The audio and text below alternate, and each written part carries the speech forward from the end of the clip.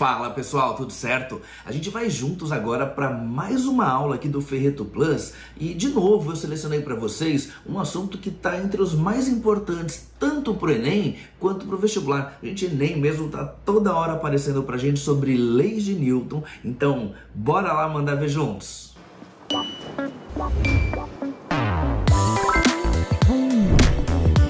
Para a gente começar a falar de leis de Newton, primeiro eu quero ver com vocês algumas ideias propostas por Galileu.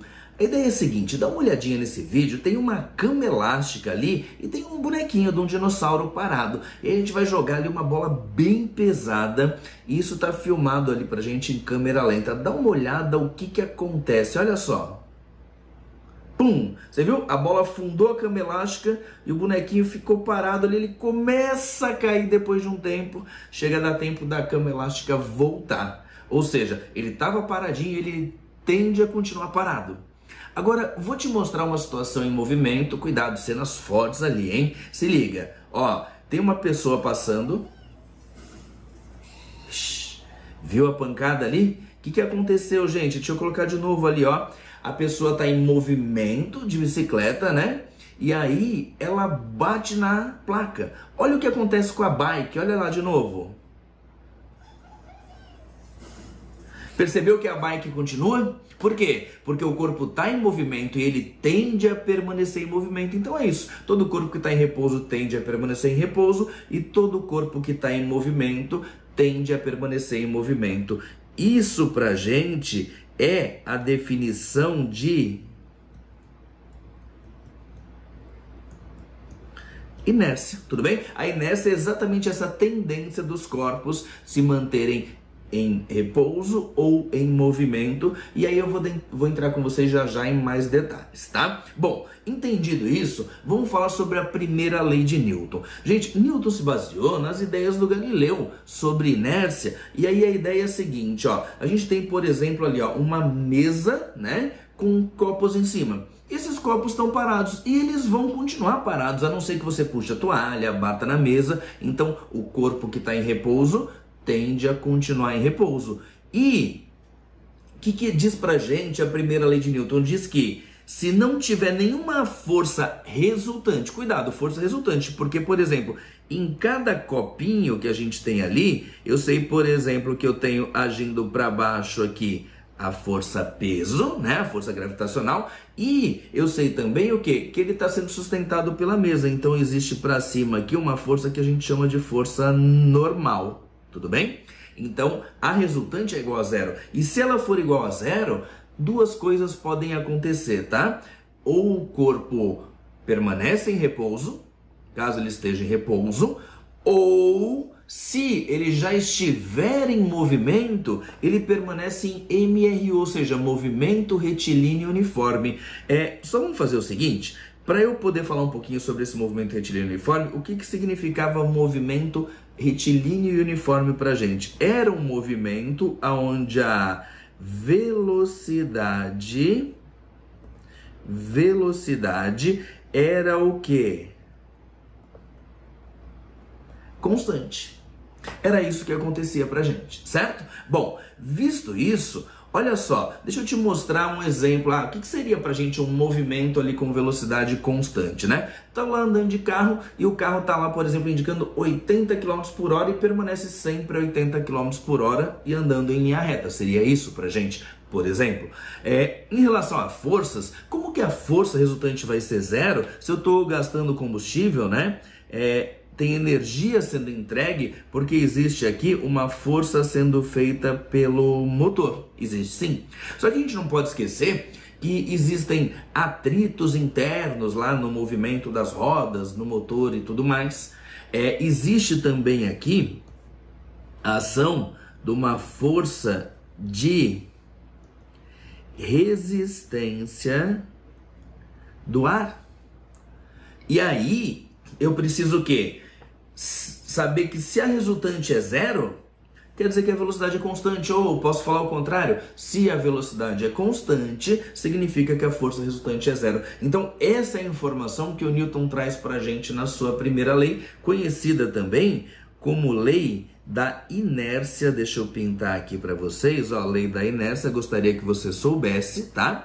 Isso significa pra gente o que a gente acabou de falar, né? Que o corpo que está parado, ele tende a ficar parado e o que está em movimento tende a ficar em movimento, a não ser que haja uma força resultante ali nesse corpo, certo? Bom, vamos lá. Agora, Queria falar com vocês sobre a segunda lei de Newton, que também é chamada aqui pra gente de, às vezes, aplicado como PFD, P princípio, F fundamental, D dinâmica, tá? É o princípio fundamental da dinâmica. O que que diz pra gente a segunda lei de Newton? Que se tiver uma força resultante atuando no corpo, esse corpo vai adquirir uma aceleração proporcional.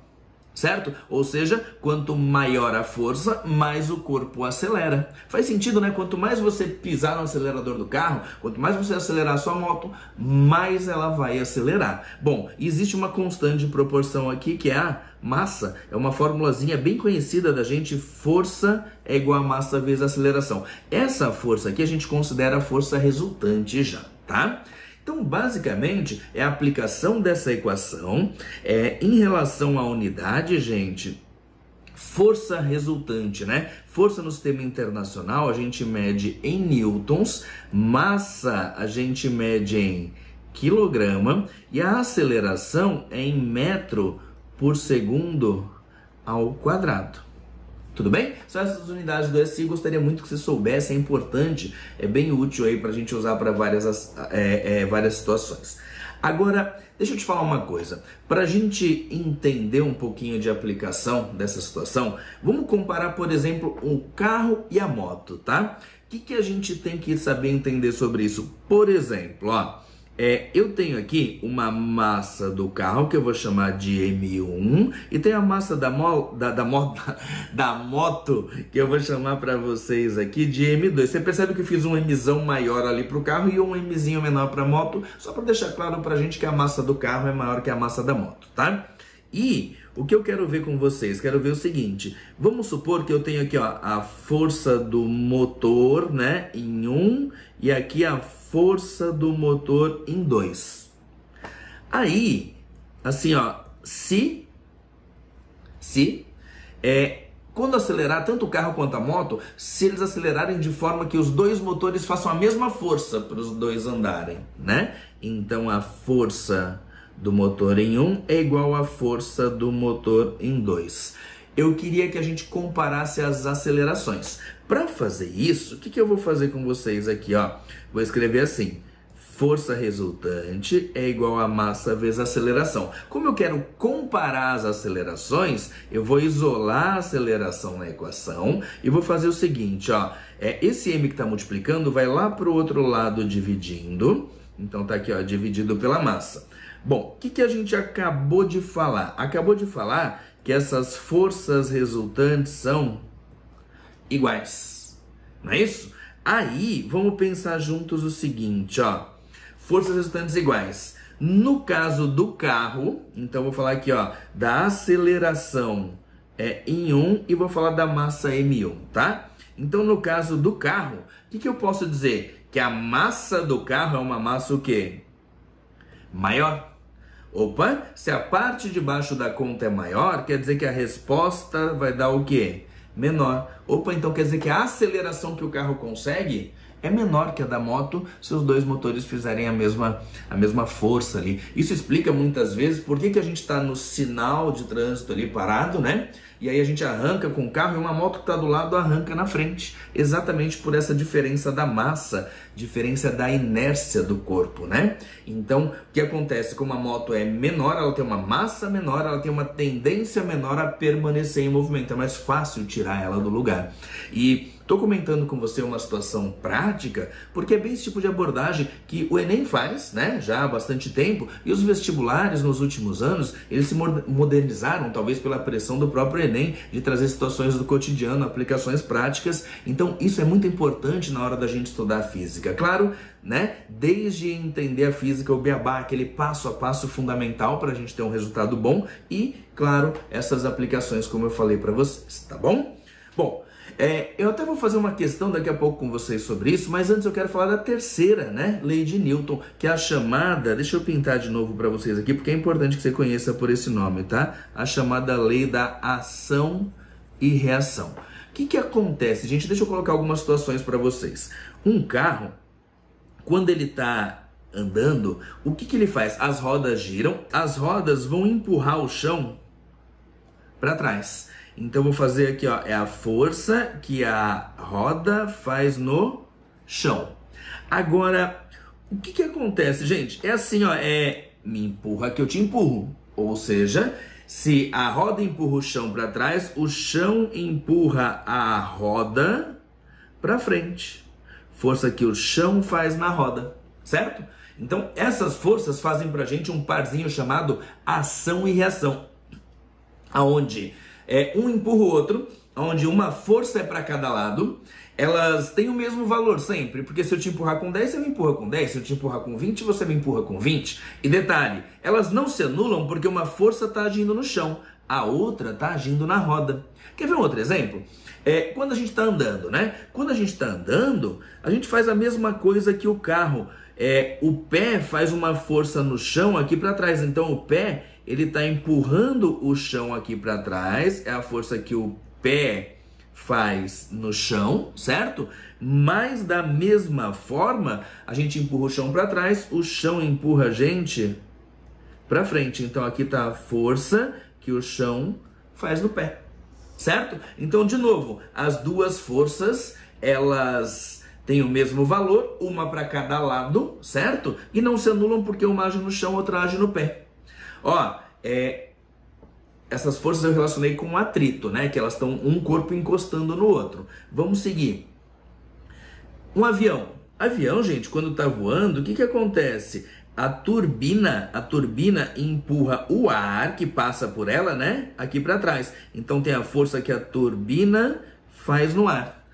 Aí, de novo, é o me empurra que eu te empurro. Então, se a turbina empurra o ar para trás, o ar empurra a turbina, a força do ar na turbina, para frente. Certo? Deixa eu te dar mais alguns exemplos, porque é esse tipo de coisa que eles cobram na prova e a gente tem que saber reconhecer, tá? Um imã. Se a gente pega um imã e pega clips desses de prender papel, a gente chega com o imã perto, a gente consegue fazer o quê? Consegue fazer o imã, o, o, o, o clips grudar ali, né? Detalhe, mesmo que o ímã não esteja encostando no clipe, já existe essa atração. A gente fala direitinho sobre isso nas aulas de, de magnetismo, tá? É, um outro exemplo que eu quero falar para vocês, por exemplo, entre Terra e Lua, Terra e qualquer outro corpo, entre dois corpos quaisquer, existe uma força de atração, né? A força gravitacional. Então aqui na Lua tem uma força que atua para cá, que é a força que a Terra faz na Lua. E, ao mesmo tempo, a Lua faz força onde? Aqui na Terra. Então tem uma força aqui que é a força que a Lua faz na Terra. Também formam para gente um parzinho ação e reação. Duas forças de mesmo valor, uma para cada lado, certo? E elas não se anulam porque uma atua na Lua, a outra atua na Terra, certo? Sempre em corpos diferentes. Detalhe, você viu que tanto essa força aqui gravitacional como a magnética são forças onde eu não preciso encostar um corpo no outro, certo? Então a gente chama isso de força de campo. Mas a gente discute isso também num outro momento. Só quero te mostrar o que aqui as duas forças são do mesmo tipo, ou de contato ou de campo, da mesma natureza. Então assim, queria falar para você o quê? Que primeiro, para toda ação existe uma reação, Sempre, sempre, sempre, tá? De mesmo módulo, ou seja, mesmo valor. Se uma é 10, a outra é 10. Se uma é 20, a outra é 20. Sempre assim. Sempre na mesma direção, porque se uma força está na horizontal, a outra está na horizontal. Se uma está na vertical, a outra está na vertical, certo? Só que sempre sentidos opostos. Lembra que eu falei? Ali é um para cada lado? Então, a pegada é exatamente essa. Vamos seguir. Importante, tá? Essas forças de ação e reação, gente, elas nunca se anulam. Por quê? Porque elas agem em corpos diferentes. Então eu deixei anotado isso aqui para vocês e também disse o que eu falei antes, né? Que são sempre forças de mesma natureza, tá bom? Do mesmo tipo ali. Agora eu quero dar uma olhada com vocês aqui num exercício. Vamos colocar aqui a questãozinha diz o seguinte, ó. A figura a seguir mostra dois blocos A e B de massas respectivamente iguais a 2 kg e 8 kg. Sobre uma superfície perfeitamente lisa.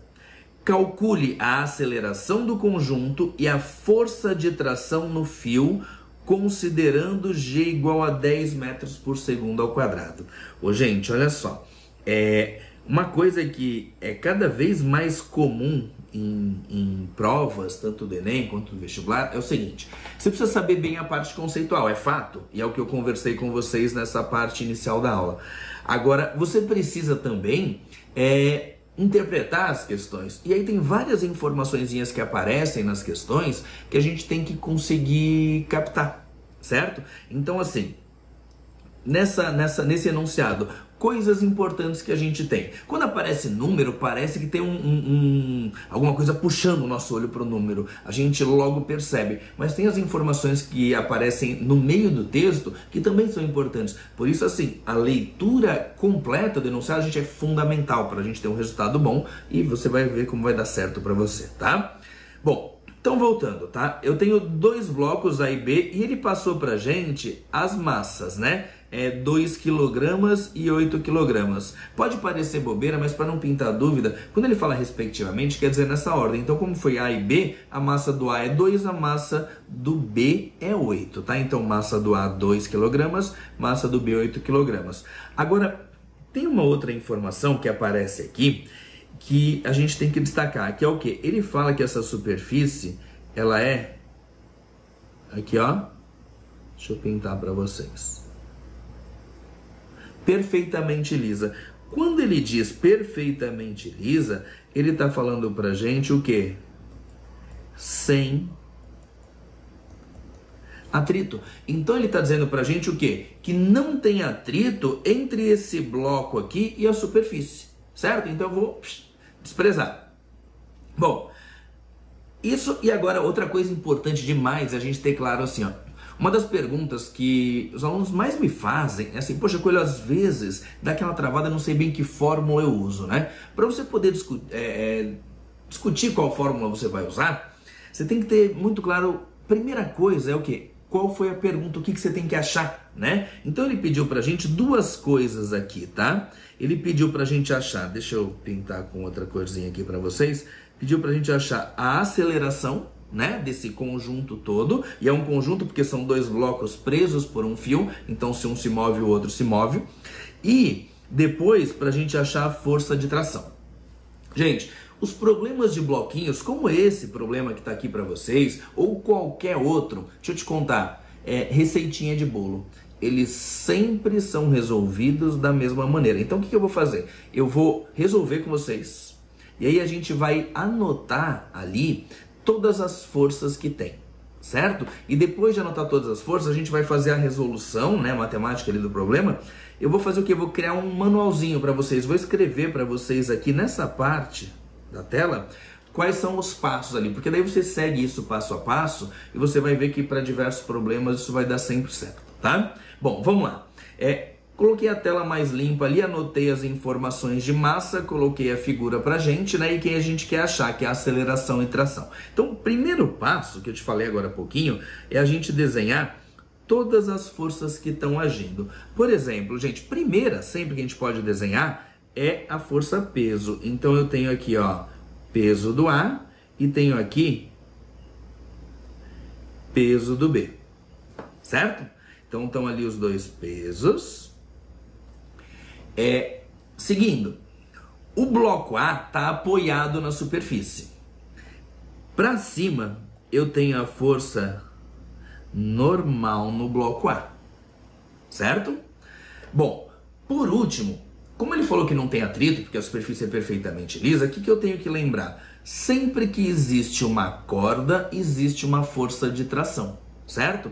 Agora, como que tá a força de tração? Primeira coisa, a gente sabe assim, a força de tração ela tá sempre saindo do ponto onde a corda está presa. Então assim, ó, a corda está presa aqui no bloco A, certo? Então existe aqui, ó, para onde está indo a corda, existe uma força de tração. Detalhe, a corda também está presa no bloco B. Então, para onde está saindo a corda, existe ali uma força de tração, certo? Gente, visto isso, o que, que eu tenho que entender?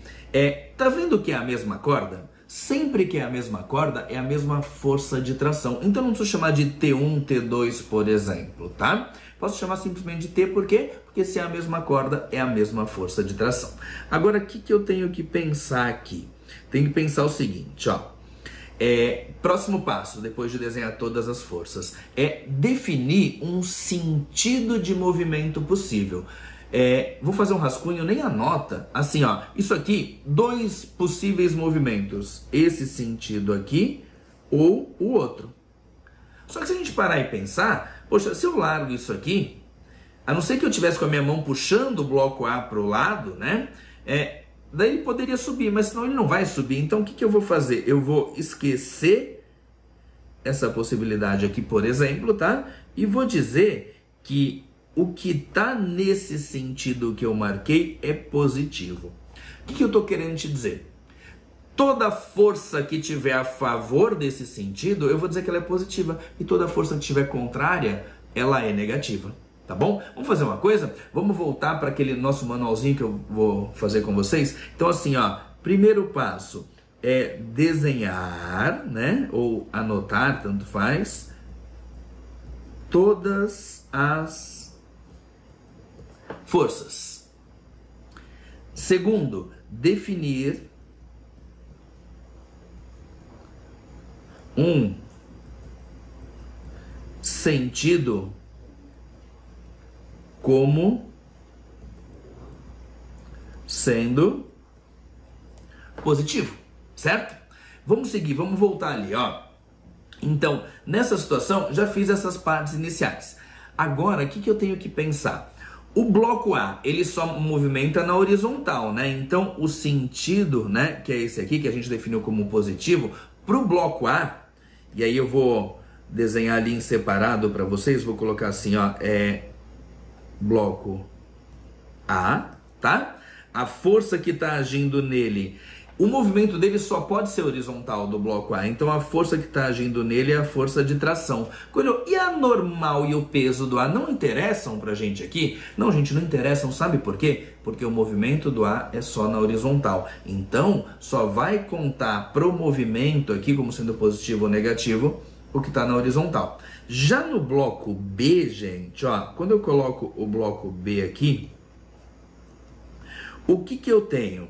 O movimento do bloco B é um movimento vertical, né? É um movimento vertical. Então, as forças que interessam para gente são as forças que estão na vertical, que são peso de B e para cima atração, certo? Daí a história para ser positivo eu vou fazer o que com vocês? Ó, o que, que a gente definiu aqui nessa parte da figura? Que esse é o sentido positivo. Então, o A é positivo quem está para a direita. Já no B é positivo quem está para baixo. E por quê? Porque a gente já definiu isso antes. Quando se eu tivesse definido ao contrário, ia ter problema? Não, não ia ter problema não. Depois eu te conto só o que aconteceria, tá? Então, qual foi o próximo passo que eu fiz? Eu redesenhei os blocos com as forças e o sentido positivo, tá? O que, que eu vou fazer? Terceiro passo. Redesenhar os blocos e as forças separados, tá? Para você poder fazer análise. Poxa, Coelho, eu olho para esse problema e para mim eu já entendo o sentido das forças tal, eu não preciso redesenhar. Pô, não é obrigatório, mas deixa eu te contar. É, com o passar do tempo, você vai encontrar problemas com um número maior de blocos, mais cordas, e aí vai. E aí muitas vezes vai ser interessante você fazer separadinho, porque daí te protege, garante que você não vai errar a questão. Bom, vamos lá. Próximo passo. Gente, sabe qual que é o próximo passo?